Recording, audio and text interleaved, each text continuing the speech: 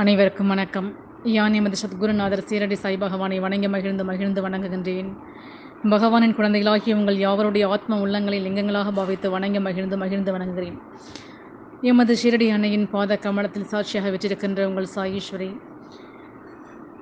நமது சத்குருவுமான தாயுமானவராகிய நாம் எவ்வாறெல்லாம் பாவிக்கின்றோமோ அவ்வாறு நமக்குள் பிரவாகித்து நம்முடைய அனைத்து தேவைகளையும் கேட்காமல் வழங்கக்கூடிய வல்லமை படைத்த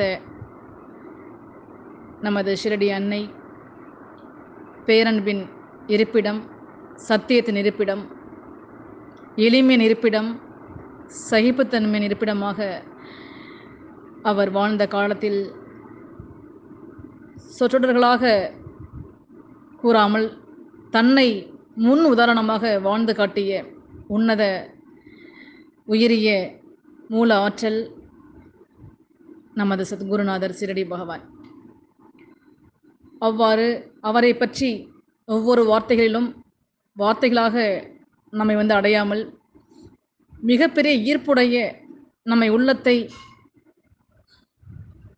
கவரக்கூடிய ஏற்கக்கூடிய ஏற்புடைய ஒரு மந்திர சொற்களாக நம்மை வந்தடைகின்றது.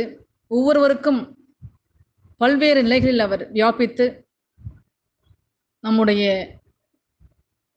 இகஜக தேவைகளை அவர் பல்வேறு நிலைகளில் ஆராய்ச்சிக்கு அப்பாற்பட்ட தன்மைகளில் வியாபித்து ஆட் ஆட்கொண்டு புடம்போடுகின்றார் ஆகவே அதனை ஏற்றுக்கொள்ளக்கூடிய தன்மையில் நாம் இருக்க வேண்டும். மிகுந்த விழிப்புணர்வோடு நம்முடைய ஷிரடி பகவான் சத்குருநாதர் கூறுகின்ற அனைத்து உபதேச மொழிகளையும் வேத நூலில் அதாவது சாய சரித்திரத்தில் இடம்பெற்றுள்ள அனைத்து விதமான மறைஞான மூல உரைகள் எல்லாம் பொறுமையாக படித்து வார்த்தைகளை மட்டும் உள்வாங்காமல் அதில் இருக்கின்ற சாராம்சத்தை ஏற்று பின்பற்றி நாம் கடைபிடிக்கக்கூடிய பொறுப்போடு நாம் நடந்து கொள்ள வேண்டும். சுய விழிப்புணர்வோடு நம்மை நாமே கவனிக்க வேண்டும். ஆகவே பகவான் பல்வேறு நிலைகளில் அற்புத அனுபவங்களை உரைக்க கூறி உணர்த்தி கொண்டே இருக்கின்றார் அதனை அவர் கேட்கக்கூடிய ஆவலோடு பகவான் தன்னை தாழ்த்தி கொண்டு சிறு குழந்தையாகவே எம்மோடு அவர் இருந்து கொண்டு கவனித்து என்னை ஆட்கொண்டு பல விஷயங்களை உரைக்க கூறி உத்தரவை இட்டுக்கொண்டே இருக்கின்றார் எந்நேரமும் பகவானுடைய சொற்களை பேச வேண்டும் எழுத வேண்டும் என்பது எனக்கு ஒரு தாக்கமாகவும் இயக்கமாகவும் இருக்கின்ற காரணத்தினால் மட்டுமே இதனை ஒரு பகவான் பாத கமலத்தில் அமர்ந்து கொள்கின்ற சுஷமத்தில் சிறு குழந்தையாகவே நான் உங்களில் ஒருவளாக இருந்து கொண்டு உரைக்க முன் வந்திருக்கின்றேன். ஆகவே நம்முடைய பகவான் உரைப்பதாகவே ஏற்றுக்கொண்டு பாவித்து அனைத்து விஷயங்களையும் கேட்டு ஒவ்வொரு ஆடியோக்களையும் நீங்கள் விடாமல் கேட்டு உங்களை அதில் உட்புகுத்தி கொண்டு உங்களுடைய இக ஜெ ஜெக தேவைகளை பூர்த்தி செய்யக்கூடிய உபதேச மொழிகளை உள்வாங்கி நடை நடைமுறைப்படுத்தி கொண்டு வாருங்கள் சகவி தோழமைகளே பகவான் குழந்தைகளே. இப்பொழுது பகவான் இங்கே எவ்வாறெல்லாம் தன்னுடைய வாழ்ந்த காலத்தில் ஆத்மார்த்தமான பக்தர்களுக்கு அருள் புரிந்திருக்கின்றார் நிறைய விஷயங்களை பகவான் எவ்வாறெல்லாம் தன்னுடைய பக்தனுடைய தேவைகளை பூர்த்தி செய்திருக்கிறார் என்பதெல்லாம் இங்கே ஒவ்வொன்றாக உரைக்கின்றோம். இப்பொழுது ஒரு மிக ஒரு சிறந்த சம்பவத்தை அற்புதமாக எடுத்துக்கொண்டு உரைக்க முன் வந்திருக்கின்றேன். பகவான் வாழ்ந்த காலத்தில் பம்பாயில் குமாஸ்தாவாக பணிபுரிந்தவர் திரு பிரதான் என்பவர் ஆவாராம். இவர் மிகுந்த ஆச்சாரமான மிக சிறந்த ஒரு பக்திமான் கூட. இவரது ஏழு வயது மகன் திடீரென இறந்துவிடவே இந்த நிகழ்வை அவருக்கு மிகவும் பிரதானமாக உலுக்கி மனதை காயப்படுத்தியதாம். ஏனென்றால் மகன் அவருடைய சொந்த மகன் இறந்துவிட்டிருக்கிறான் ஆகவே அதனை அவர் ஏற்றுக்கொள்ளவே முடியவில்லையாம். ஆனாலும் அவருக்கு ஐந்து மகான்கள் கனவில் வந்து ஆறுதல் கூறினார்களாம். அவர்களில் ஒருவர் நமது ஷிரடி சாய் பகவான் என்பது குறிப்பிடத்தக்கது. அக்கணமே பகவான் மீது அந்த பிரத்தானுக்கு ஈர்ப்பு ஏற்பட அவர் ஷிரடிக்கு செல்ல முனைந்தாராம். அந்த எண்ணத்தில் சிறிதும் தாமதிக்காமல் அவர் உடனடியாக ஷிரடிக்கு சென்று பகவானை தரிசனம் செய்தாராம். அப்பொழுது பகவான் மண் மண்ணோடு சேர்ந்து விட்டது. இதற்கு சென்று முட்டாள்தனமாக அழலாமா? ஒரு நாள் நாமும் அங்கே போக வேண்டியவர்கள் தானே என் குழந்தாய்? என்று கூறியதும் பிரத்தானும் அவருடைய மனைவியும் மிகுந்த அந்த கணத்தில் ஒரு பரவசத்தில் ஆழ்ந்தார்களாம். எதுவுமே தெரியாது. நாம் எதுவுமே பகவானிடம் கூறவில்லை. இருப்பினும் ஞான திருஷ்டியில் பகவான் அறிந்துவிட்ட அந்த தன்மை நினைத்து அவர்கள் ஒரு கணம் அதிர்ந்து போய்விட்டார்களாம். மேலும் பகவான் அவர்கள் வீடு தோட்டத்தில் இருந்த மரங்களை குறிப்பிட்டு க்ஷேமம் விசாரித்தாராம். இது பகவான கைவந்த கலை. நம்மை பற்றி ஒரு சில விஷயங்களை அவர் ஞான திருஷ்டியில் அறிந்து கொண்டு அதனை பற்றி பேசி யான் கவனிக்கின்றேன் என்பதை அவர் சூட்சமமாக தெரிவிக்கின்ற ஒரு வழியே இவ்வாறானது. தன்னை நாடி வந்த பக்தர்களிடம் அவர் நம்முடைய அனைத்து விஷயங்களையும் பகவான் அறிந்து கொண்டு சுட்சமமாக அதனை நான் கவனித்திருக்கின்றேன் இதனை கவனித்திருக்கிறேன் என்பதைப் போல மறைமுகமாக சில விஷயங்களை கூறி யான் உங்களோடு இருக்கிறேன் என்பதை தெளிவுபடுத்துவாராம். அவ்வாறாக அவர்கள் வீட்டு தோட்டத்தில் இருக்கின்ற பல விஷயங்களையும் அவர் யான் பார்த்திருக்கின்றேன் என்பதைப் போல பகவான் உணர்த்தி விட்டாராம். உடனே அவர்கள் சற்று விழிப்புணர்வோடு பகவான் அனைத்தையும் தந்திருக்கின்றாரே. இவர் யார் என்பதில் அவர்கள் மிகுந்த ஆவலோடு பகவானை உற்று நோக்கி உணர்ந்தார்களாம் அதே நேரம் பிரத்தானின் குடும்ப ஆலோசகராகவும் அவர்கள் வீட்டில் பூஜை ஹோமம் சுப காரியங்கள் திதி முதலானவற்றை நடத்தும் பூஜாரியாகவும் இருந்த மாதவ் பட் என்பவருக்கு பிரத்தானம் அவருடைய மனைவியும் பகவானை வழிபடுவது பிடிக்கவில்லையாம். பாருங்களேன். அவர்கள் வீட்டில் யார் பூஜை செய்தாரோ அவருக்கு இவருடைய மனைவியும் இவரும் பகவானை வழிபடுவது மிகவும் தாக்கமாக இருந்திருக்க இருந்திருக்கிறது. பிடிக்க பிடிக்காமல் போய்விட்டு போய்விட்டிருந்தது பிரத்தானின் மற்றொரு மகன் பாபு நிமோனியா காய்ச்சல் முற்றி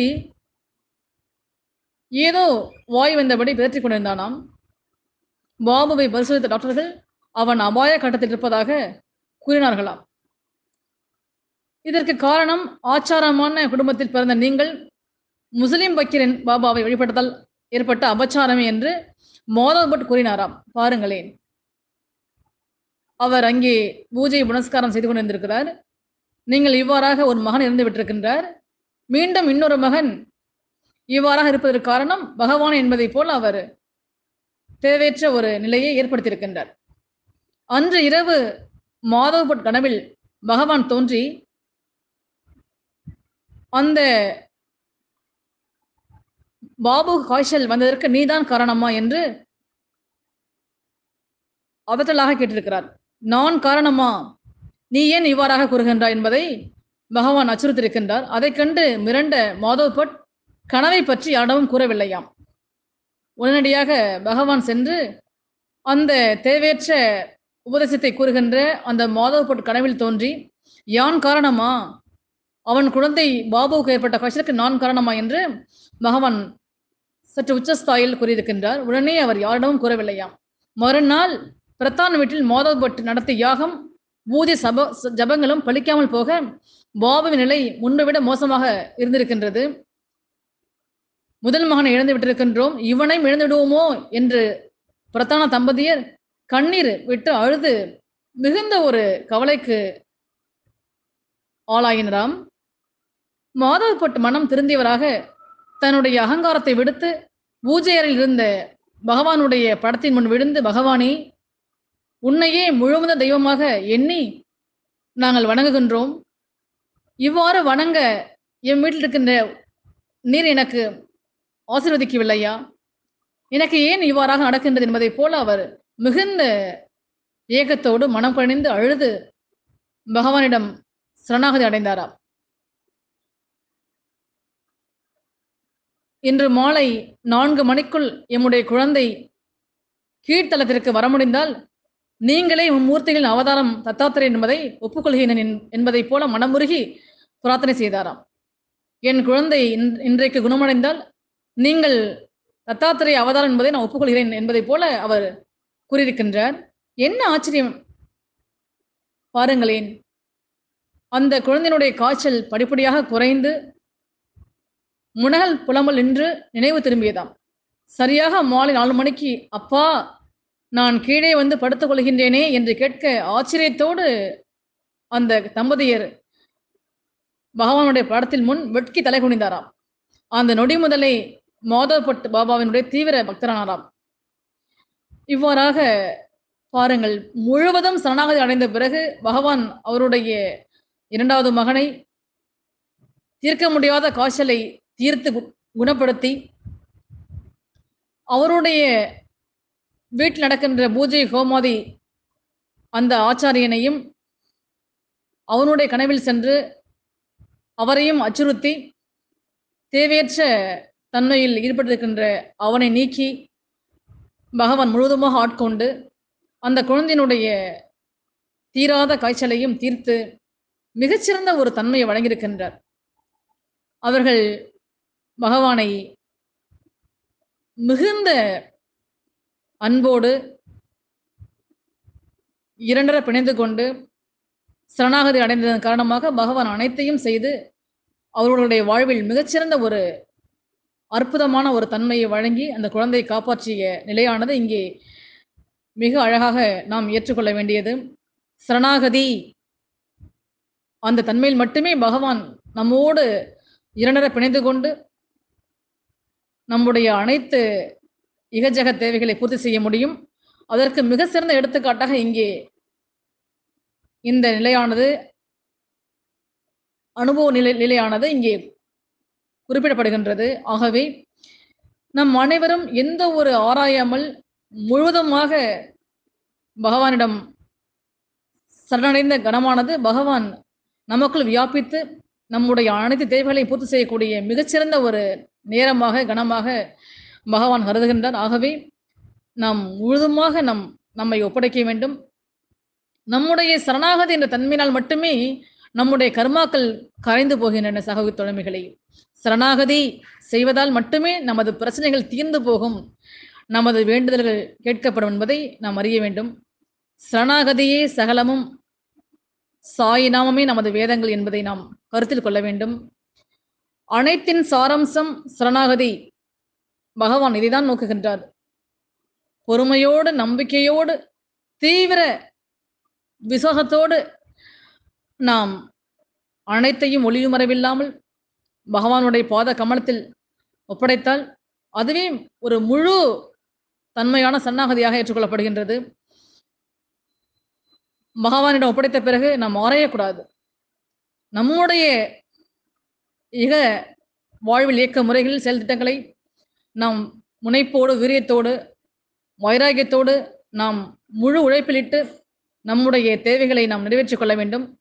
தீர்வை நோக்கியே பகவானிடம் இருக்காமல் ஒப்படைத்து விட்ட பிறகு நாம் அமைதியாக பொறுமையோடு காத்திருக்க வேண்டும்.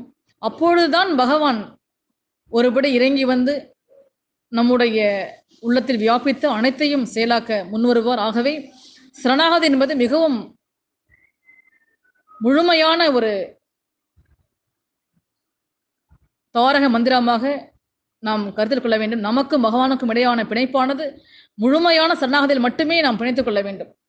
அந்த பிணைப்பின் ஆழத்தை பகவான் உற்று நோக்கி கொண்டே இருக்கின்றார் நாம் எவ்வாறு பகவானோடு பிணைத்து பிணைத்துக் கொண்டிருக்கின்றோமோ அந்த தன்மையை மட்டுமே பகவான் நமக்குள் வியாபித்து பல விஷயங்களை செய்ய முடியும். ஆகவே இந்த சரணாகதியையும் நாம் எவ்வாறு பகவானோடு அன்பினால் சத்திய தன்மையினால் நாம் பகவானை ஏற்றுக்கொண்டு செயலாற்ற வழி விடுகின்றோமோ அவ்வாறாகத்தான் பகவான் செயலாற்ற முடியும். ஆகவே நமக்குள்ளே அனைத்தும் இருக்கின்றது. ஆகவே முழுதுமாக நம்மை படைத்துவிட்டு அமைதியாக இருக்க வேண்டும். சரணாகதி என்பதனுடைய முழு முழுமையான தன்மை இதுவே என்பதை பகவான் உணர்த்துகின்றார். ஆகவே நாம் அனைத்தையும் சரணாகதி செய்துவிட்டு அசைக்க முடியாத நம்பிக்கையும் உறுதியோடும் பொறுமையோடும் காத்திருந்து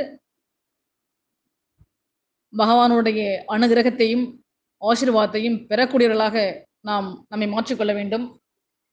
ஆகவே மேற்கூறிய அனுபவமானது நம்முடைய நாம் எவ்வாறு பகவானோடு இறுக்கி பிணைத்து கொண்டால் சரணாகதி அடைந்தால் பகவானுடைய ஆசிர்வாதத்தை பெற முடியும் என்பதற்கு மிகச்சிறந்த எடுத்துக்காட்டாக இங்கே அழகான ஒரு லீலையானது உரைக்கப்படு பட்டு இருக்கின்றது. ஆகவே இதனை முழுதும் உள்வாங்கி நம்மை நாமே பரிசோதனை மேற்கொண்டு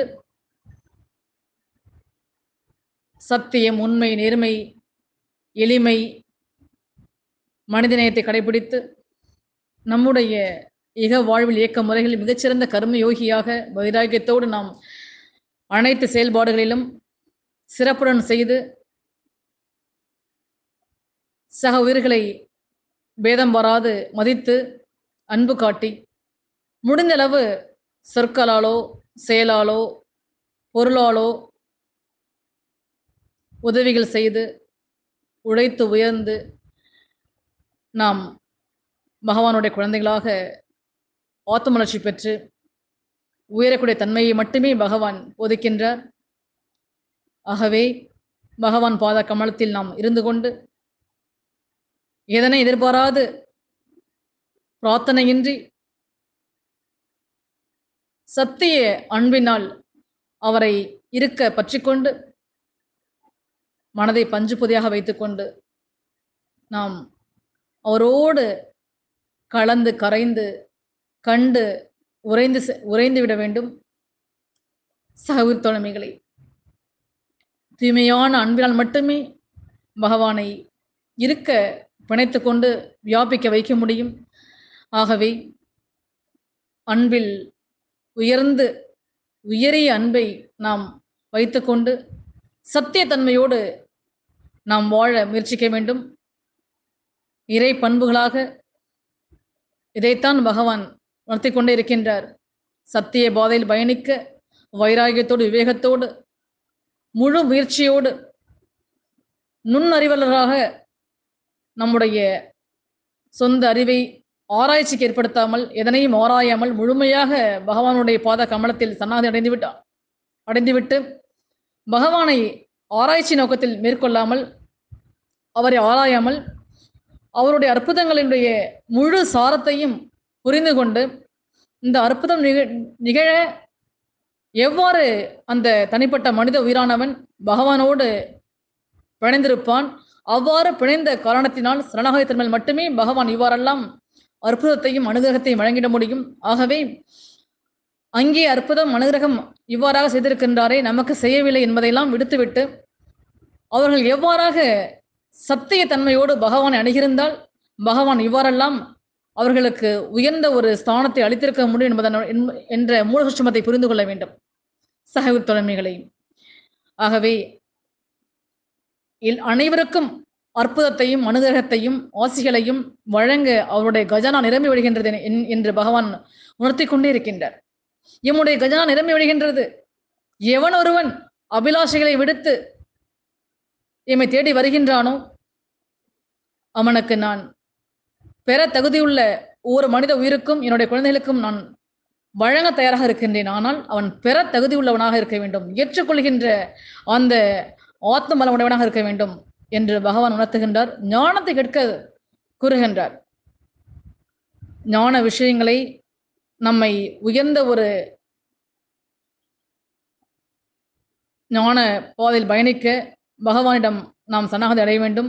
இக தேவைகளையே முன்னிறுத்தி கொண்டு பிரார்த்தனை என்கின்ற பெயரை பெயரில் நாம் எதிர்பார்த்து கொண்டு அவரை பூஜிக்காமல் நம்முடைய ஆத்மா பிரமணச்சி அடையக்கூடிய தன்மையிலும் ஞான விஷயங்களையும் போதிக்க அறிவுறுத்த செய்ய நாம் அவருடைய பாத கமலத்தை சரணாகதி அடைந்துவிட்டு பிரார்த்திக்க வேண்டும். இவ்வாறாக பிரார்த்திக்கின்ற ஆத்ம உள்ளங்களை பகவான் அதிகமாக நேசிக்கின்றார். பகவான் கூறுகின்றார் யாருமே ஞானத்தை கேட்டு வரவில்லையே. என்பதனை தான் அவர் கூறுகின்றார். எம்முடைய கஜனா காலியாக இருக்கின்றது நிரம்பி வழிகின்றது என்பதை. ஆகவே நாம் அவ்வாறாக பகவானுடைய சமூகத்தில் வெறுமையோடு அனைத்து அர்த்த சாஸ்திர புனித வேத பாராயணத்தை மேற்கொண்டிருந்தாலும் நீங்கள் அனைவரும் அதனையெல்லாம் விடுத்துவிட்டு வெற்றிடமாக ஒரு பாமர தன்மையோடு மனதை இலகுவாக்கி பஞ்சுபதியாக நாம் இணக்கமாக பிரார்த்தனையின்றி இவ்வாறாக நீங்கள் எனக்கு வழிகாட்டினால் பகவானே தகப்பனை நான் மிக உயர்ந்த நிலையில் வருவேன். எனக்கு எதுவுமே தெரியவில்லையே. என் உள்ளத்தில் நான் வெறுமையாக இருக்கின்றேன். எதுவும் படித்திருந்தாலும் என்னுடைய கர்ம வினைகளாலும் மாயையாலும் நான் சூழப்பட்டு அனைத்திலிருந்து விடுவித்துக் கொள்ள முடியாமல் நான் மன சுழற்சியோடு சில தாழ்ந்த விஷயங்களை செய்கின்றேனே பகவானே. ஆகவே நீங்கள் எனக்கு வழிகாட்ட வேண்டும். என்கின்ற மன தெளிவை கொடுக்க வேண்டும் அகத்தெளிவை கொடுக்க வேண்டும். சத்திய பாதையில் பயணிக்க என்னை நீங்கள் வலியுறுத்த வேண்டும் அறிவுறுத்த வேண்டும். என் தகப்பனை என் கூடவே இருந்து கொண்டு என்னுடைய மனம் சொல் செயல் ஆகியவற்றை ஒரே நேர்கோட்டில் பயணிக்க வைக்க எனக்கு என் கையை பிடித்துக்கொண்டு என்னை ஏற்றுக்கொள்ளுங்களேன் என்பதைப் போல பிரார்த்தனை என்பது இதுவாக இருக்க வேண்டும். இவ்வாறாக இருந்தால் நம்முடைய சொல் செயல் மனம் ஆகியவை ஒரே நேர்கோட்டில் இயங்கும் பொழுது அது எல் அனைத்தும் சுபமாகவே எளிதாக நடக்கும். நாம் நம்மை சீ விழிப்புணர்வோடு நம்முடைய சொல்லையும் செயலையும் கவனித்து நான் என்கின்ற அகந்தையின்றி இருந்தோமேயானால் எந்த கர்ம வினைகளும் மாய சுழற்சிகளும் ஆட்கொள் ஆட்கொள்ள முடியாமல் அது ஸ்தந்தம்பித்து நம்மை விட்டு ஸ்தம்பித்து போகும். நம்மை விட்டு விலகு ஓடும். கர்ம வினைகள் எல்லாம் நம்மை நம்மை தாக்காமல் நம்மை விட்டு அகல நம்மை நாமே ஒரு மிகச்சிறந்த ஒரு தியானத்தை அதாவது விழிப்புணர்வு தியானத்தை மேற்கொள்ள வேண்டும். பகவான் அதனை உரைக்க சொல்லி உணர்த்தி கொண்டே இருக்கின்றார். சாட்சி பாவமாக உம்முடைய செயலை கவனி. என்ன ஓட்டங்களை கவனி? அவ்வாறு கவனிக்கும் பொழுது என்ன அலைகள் முற்று பெற்று அதிர்விழந்து மனம் என்பதே இல்லாமல் ஆகிவிடும். உடலும் மனமும் இல்லை என்றால் நான் என்கின்ற மிண்டுதன்மை இராது. அவ்வாறு இல்லாமல் இருந்தால் மாய ஆட்கொள்ள முடியாது. ஆகவேதான் பகவான் இதனை உணர்த்தி கொண்டு இருக்கின்றார் உங்களுடைய பிரார்த்தனைகள் விரைவில் நிறைவேற. சாட்சியாக பற்றில்லாமல் அனைத்தையும் பற்றி கொண்டு பகவான் சமூகத்தில் காத்திருப்போமாக. அனைத்தும் பகவான் பார்த்துக்கொள்வார் ஆகவே பகவானுடைய அல்மொழிகளுடைய முழுவதும் சாரத்தை நாம் பற்றிக்கொண்டு அதனை பின்பற்றிட முயல வேண்டும். ஆகவே சாயை பணிவோம். அண்ட சராசரமெங்கும் சாந்தி நிலவ துணையாக இருப்போம். வாழ்க வளமுடன் நலமுடன் வாழ்க. நன்றி வணக்கம்.